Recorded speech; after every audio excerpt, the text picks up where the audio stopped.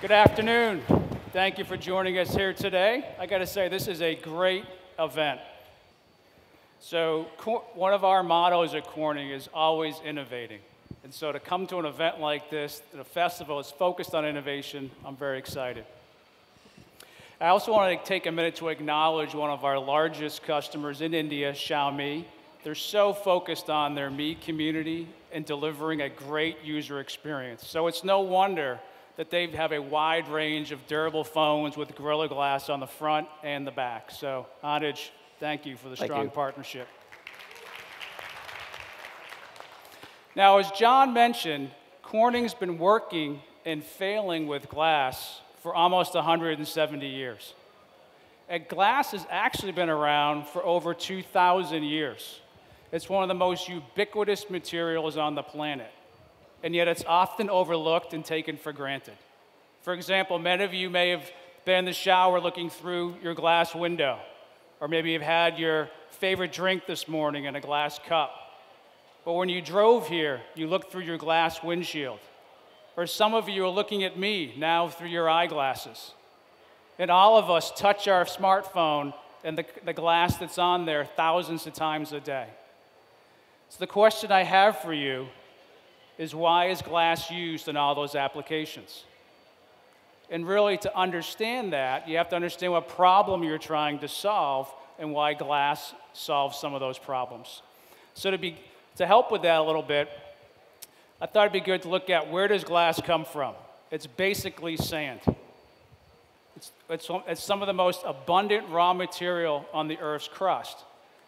And we take it and we dig it out of the earth, we put it into big tanks, and we melt it at 2,000 degrees Celsius. It's about 80 or 90% made of silicon dioxide. And then we add in other elements from the periodic table that give it certain properties or different colors. It's almost like a chef taking different Indian spices and creating different foods and different tastes. And that's basically how you create different compositions of glass. Now, once you get the glass into the right ratios, you're left with a optically transparent and pure material. And that's fundamentally the first problem glass is trying to solve. You want a transparent material. That's why the reason we cut holes in our houses and put windows in there so we can see outside. And when you think about it, there's very few materials that are transparent. And that's what glass is trying to solve.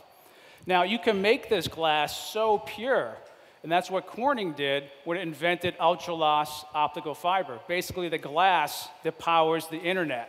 Now that glass is so pure that if you were to fill the Indian Ocean, you'd be able to see the ocean floor miles below. Isn't that amazing? It's such an invention. Now, glass solves many other problems, as John mentioned. It's thermally stable, so it can withstand wide ranges of temperatures, and it's the reason it's used on all the manned space missions in the United States. It's also chemically stable. And it's the reason you have a lot of your medicines and your vaccines are stored in glass vials. And lastly, it can be a fantastic design and artistic tool because you can shape it and craft it.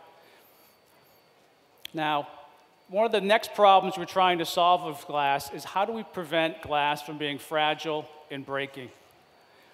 Now, to do that, you really have to understand how, why materials fail. And they basically fail in two ways. One is under compression, like if as if you're trying to break eggs, or in tension, as if you're trying to bend a piece of wood and snap it in half. Now, glass is extremely strong under compression. In fact, it's stronger than steel and stronger than concrete. It has a theoretical compressive failure of 15 gigapascals. Now, none of us have a scale at our house that can measure a Pascal, but one Pascal is as much as 10,000 elephants. So glass is an amazing material when it comes to compressive stress.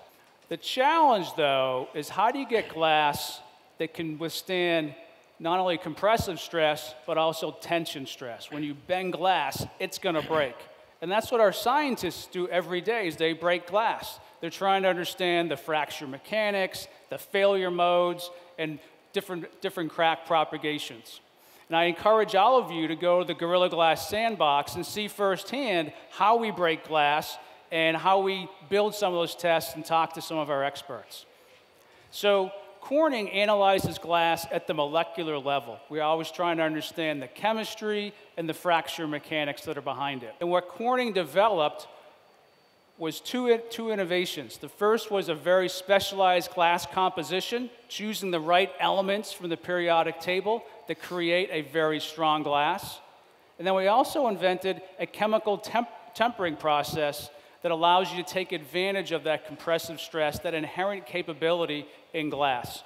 Now, when you bring both of those together, you now have a glass that's not only strong in compression, but it's also strong in tension.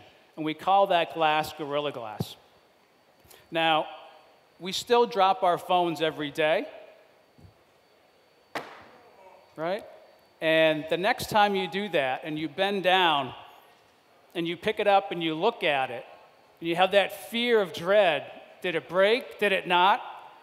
When it doesn't break, you can thank a small little company in upstate New York that we helped solve that problem too.